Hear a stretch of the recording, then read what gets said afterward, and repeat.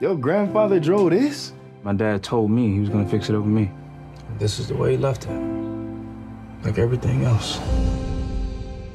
You are my son, but I'm giving you one month to find a job, or you can find one of your little friends that's gonna let you sleep on their couch for free.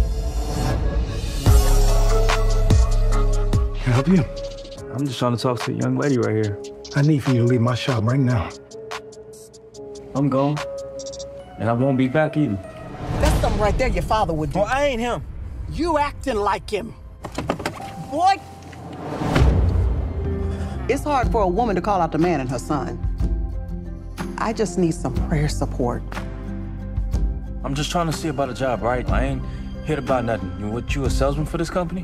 I'm the president. That's for more.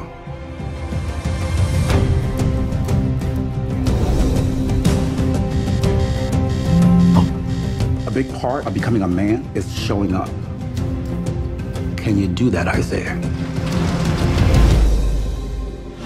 You made all these promises. OH MUDS! When my sister tells me that she needs prayer support, honey, I bring prayer support. Am I in the right place? Miss Clara.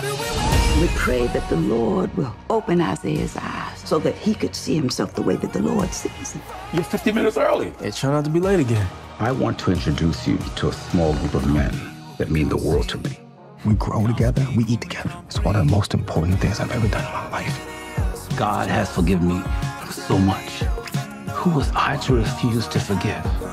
Okay, Jesus, I give it to you. What kind of man do you want to be? And what do you want people to think when they see you coming?